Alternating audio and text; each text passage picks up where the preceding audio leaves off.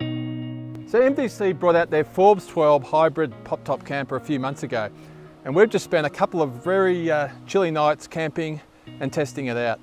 So here's five things that we like about it.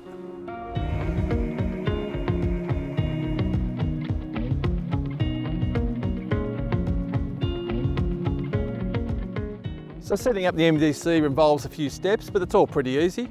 After pushing up the roof, the rear bed extension slides out pretty easily, including this last section here, which just latches onto the two latches. Then it's just a case of pulling out the kitchen extension, going inside and setting up the dining table. So as you can probably tell, we've been camping in some pretty cold conditions. So one of the things we've really appreciated on the Forbes 12 is the standard diesel heater, which doesn't require any 240 volt power.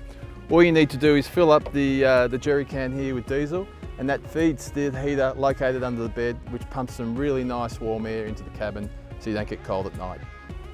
So the other thing we like about this camper is the off-road ability. So you got things like chunky off-road tyres, checker plate protection, good ground clearance, independent coil suspension and a DR35 hitch. About the only thing slowing you down is this entry step which might drag in severe off-road conditions.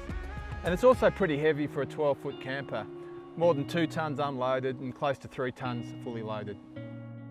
So step inside the compact interior and apart from a really comfy double bed, the main highlight in here is this combination shower toilet, which includes a shower, sink and a cassette toilet.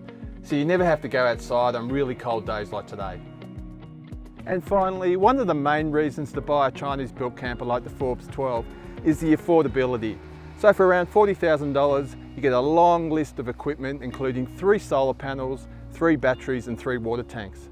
While some of the fixtures and fittings might not be the same quality as its Australian built rivals, it's really hard to complain about the price.